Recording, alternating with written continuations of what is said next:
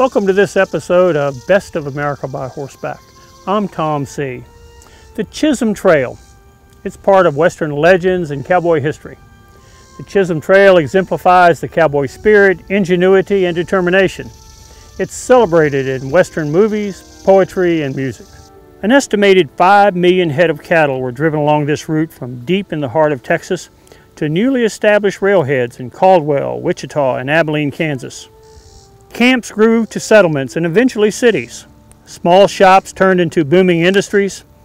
Farmers and cowboys became business tycoons. The trail brought change to all who lived near it or rode along it. Today you can ride along and see wagon ruts on the trail. We will ride the heart of the Chisholm Trail from Caldwell, Kansas, known as the Border Queen Town, to Wellington, Mayfield, Clearwater, and Wichita. We will meet the people and visit the towns that made this ride so special for us and who are committed to preserving the history of the Chisholm Trail and the Western way of life for future generations. Join us this week as we continue our journey along the Chisholm Trail, riding from Mayfield, Kansas to the town of Clearwater, Kansas. We'll speak with owners of the Haymaker Lodge in Mayfield, where our riders enjoyed an evening of musical entertainment, dinner, and friendship. We'll learn about a day in the life of a Chisholm Trail cowboy and the roles they played during the cattle drives. Join me now for part two of the Chisholm Trail Ride. I'm Tom Seay. We'll be right back. On this episode of Best of America by Horseback, Tom Seay. continues his ride along the historic Chisholm Trail. Last week, we began our journey along the Chisholm Trail starting at Caldwell, Kansas a small, peaceful town with a rowdy Western history, known as the Border Queen town of Kansas and Oklahoma. Tom Seay., with over 90 guests and staff, rode from the Caldwell Livestock Market through downtown Caldwell under the town's arch commemorating this historic trail. Then out to the Kansas Prairie to Lake Wellington along the actual Chisholm Trail. Caldwell had a strategic location along the Chisholm Trail and played an integral role during the heyday of the famous Cattle Drive Trail that extended from Texas north to Kansas railhead towns. The people and city officials of Caldwell know the importance of preserving their history.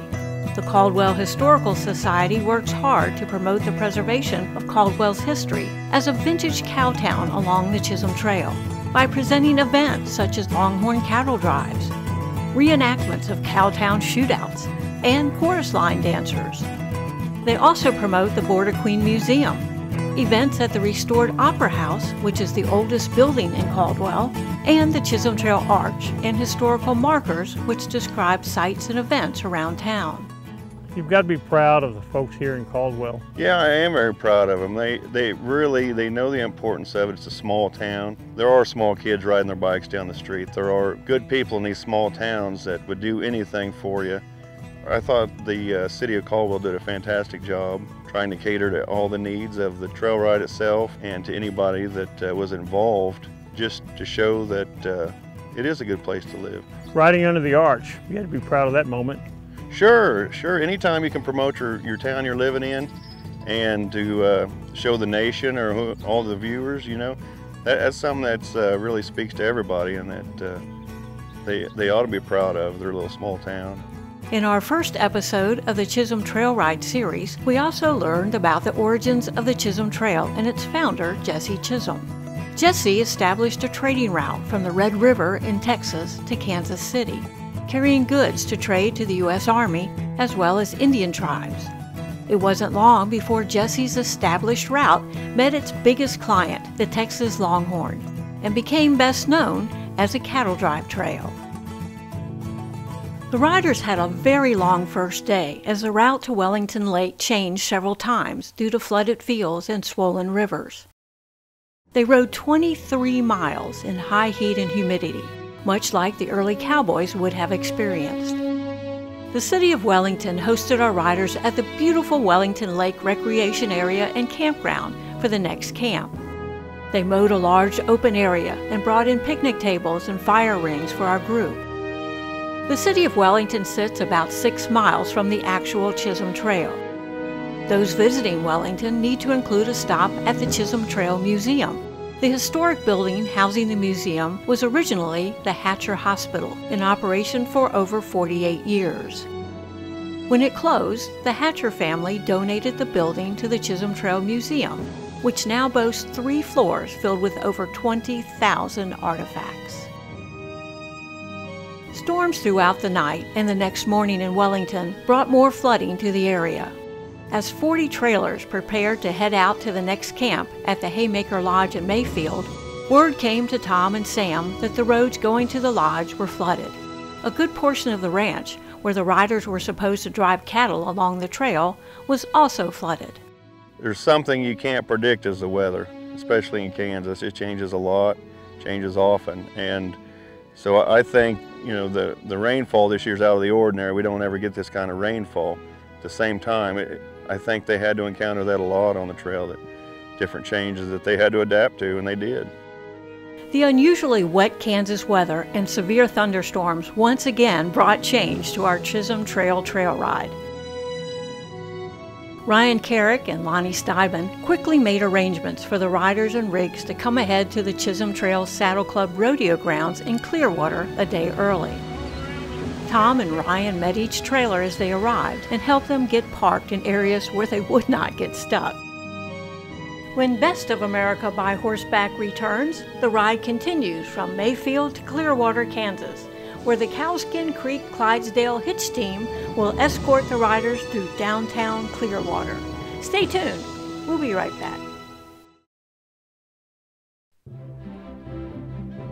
Welcome back to part two of the Chisholm Trail Ride in Kansas. To continue the ride from Mayfield to Clearwater, arrangements had to be made to transport the horses back to Mayfield from the rodeo grounds in Clearwater.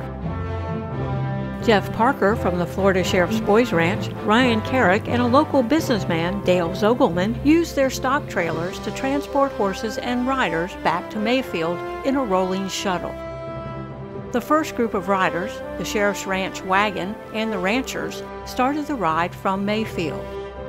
Each trailer load of horses met them along the way in a rolling shuttle until all riders were back on the trail. Brian Thompson serenaded riders with his harmonica, an instrument that was used during the cattle drives to relax and calm the cattle herds.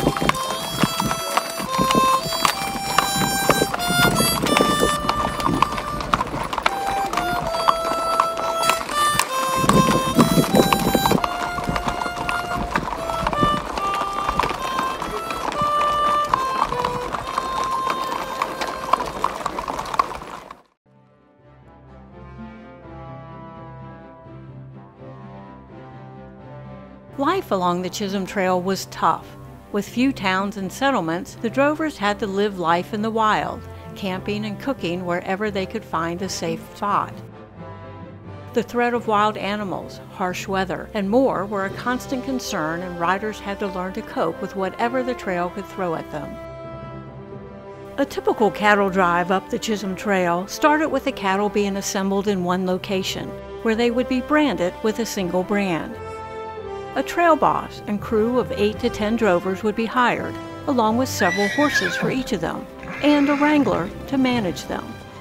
A cook with a chuck wagon full of cast iron, cured meats, beans, cornmeal, and flour would be hired to provide meals for the team during the duration of the trail. Most of the cowboys hired for droving were young men, less than 20 years old. Over 35,000 drovers were estimated to have worked the Chisholm Trail cattle drives during its peak, with a third of them being from Mexican or African American descent. The history you've studied on the Chisholm Trail, tell me about it. What, what are the parts that you enjoyed the most and are dear to your heart? Talking about the drive and the drives and what those boys went through, and even there were some even ladies that, that had short drives through the Chisholm Trail. While few and far between, there were some women that rode the Chisholm Trail, often driving cattle with their families. Margaret Borland, a rancher in the South, was the first female trail boss, and in 1873 took a herd of 1,000 head of cattle from Texas all the way to Wichita, accompanied by her children, a granddaughter, some hired hands, and a cook. Harriet Hattie Cluck was the first woman to ride the Chisholm Trail. While pregnant, she rode in a wagon with her two young children. Word about Hattie spread after they crossed the dangerous and flooded Red River on horseback while the wagons were floated across. A true cowgirl and pioneer were celebrating in the Wild West chapters of the great American story. The newly formed crews would drive the herds of cattle, sometimes in the thousands, 20 miles or more in the first day to accustom them to the pace and rhythm of the drive, then slowing down to around 10 miles per day afterwards. Cattle drives up the Chisholm Trail were a slow process. While timing was important, it was also necessary to let the herds graze as much as they could. Those guys, uh, drovers, pushed those wild Texas longhorns for hundreds of miles to the Kansas railheads over what was a seemingly endless sea of grass.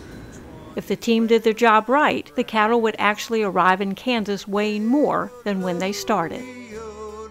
Large herds could stretch out over a mile wide, meaning the working cowboys would spend their days alone on the edges. They'd sing songs, write poetry, and think of home as they rode along the old Chisholm Trail and the journey ahead.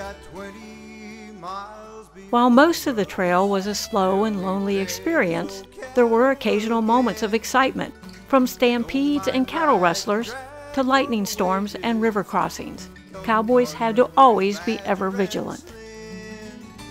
Each night, the team would make camp, gathering around a campfire, while the cook prepared traditional trail foods with staples like cornmeal and beans in cast iron pots and pans.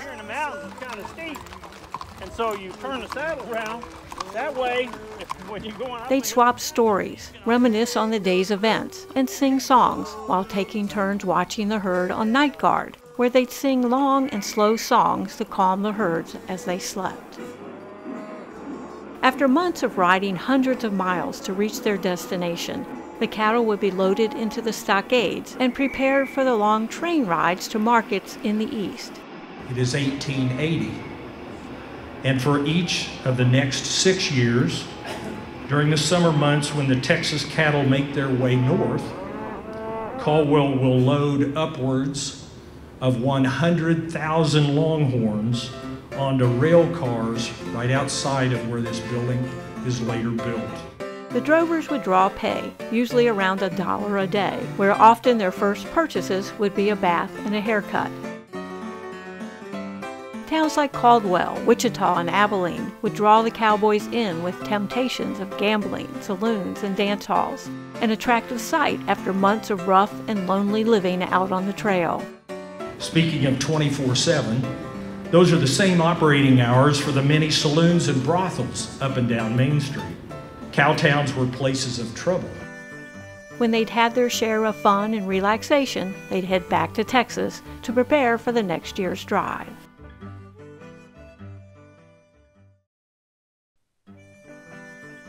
Welcome back to part two of the Chisholm Trail Ride in Kansas. Tom Seay. is riding along the Chisholm Trail on Best of America by horseback.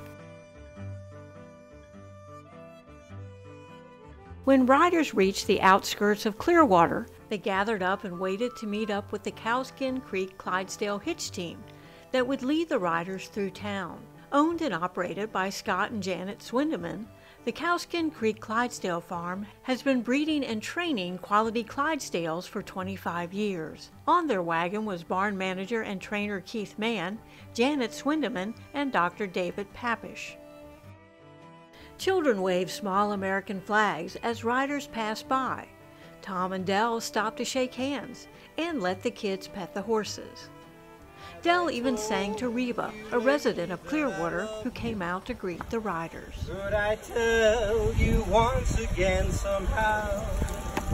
Have I said with all my heart? The riders passed by the Clearwater Historical Museum, featuring the Chisholm Trail and its importance to the area. The riders continued another three miles beyond town to camp at the Chisholm Trail Saddle Club rodeo ground. The good Lord has made me a cowboy out here where the coyotes cry. I may join a drive in the springtime Push some cattle to Kansas to rail. I'll still be at home on the prairie for a cowboy's at home on the trail.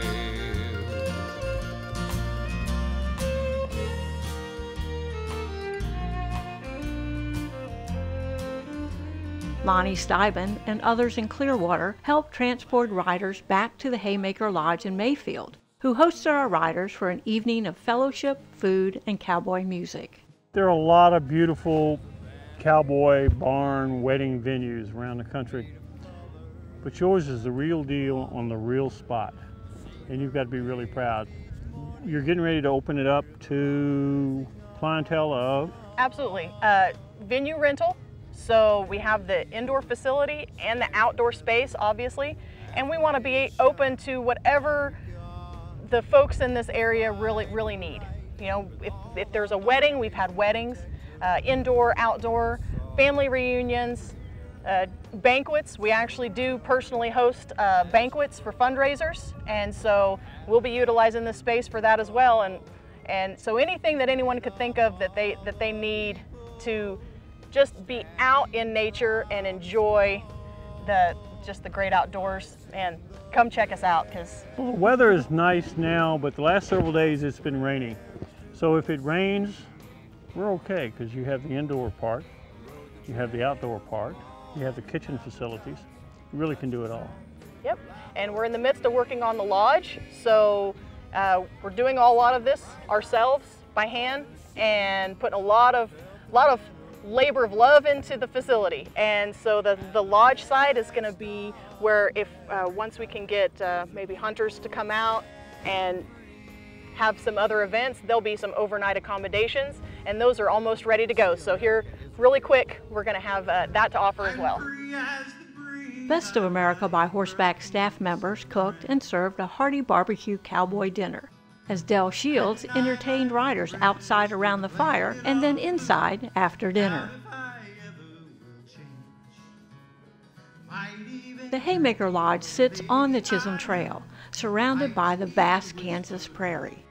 Ginger, if we were standing here a few decades ago, we would see cattle. You ever feel the history when you're here? Absolutely, absolutely. And being out in the open like this and, and amongst the natural prairie, because right where we're standing, it, it hasn't been disturbed. This is natural prairie grass, it's Kansas prairie. It's got the buffalo wallers all intact, still on the ground. It's amazing. It's, it's just, it's, you feel the presence of God being out amongst his nature. So if you want to get married, this is a beautiful place. If you want to ride the Chisholm Trail, this is a beautiful place. You want to hear cowboy music, it doesn't get any better. Weddings, and you know, it's just, you've got it all together. So well, we are very, very pleased to know you. If people want to get in touch with you for a venue here, a wedding or, or whatever, how do they do it? We keep our Facebook page, Haymaker Lodge. We have an Instagram account, and of course we have our website, haymakerlodge.com, and we're open to anybody to give us a phone call, and it's 316-347-1649, and you get in touch with me personally. Next week on part three of Tom Seay.'s Chisholm Trail Ride, our group heads north along the Chisholm Trail towards Wichita, visiting strategic points along the trail, and then they'll circle back to Clearwater for a very special visit. And an evening of fun filled events and entertainment at the Chisholm Trail Saddle Club Rodeo Grounds. Thank you so much for watching this special episode of Best of America by Horseback as we travel the historic Chisholm Trail. We were honored and grateful to be able to ride this trail and visit with the wonderful communities who welcomed us into their towns and with the ranchers who allowed us to cross their land. Please join us next week as we continue riding along the Chisholm Trail, exploring the history, the towns, the people, and all the surrounding history of that. I'm Tom Seay., and we'll see you next week on Best of America by Horseback.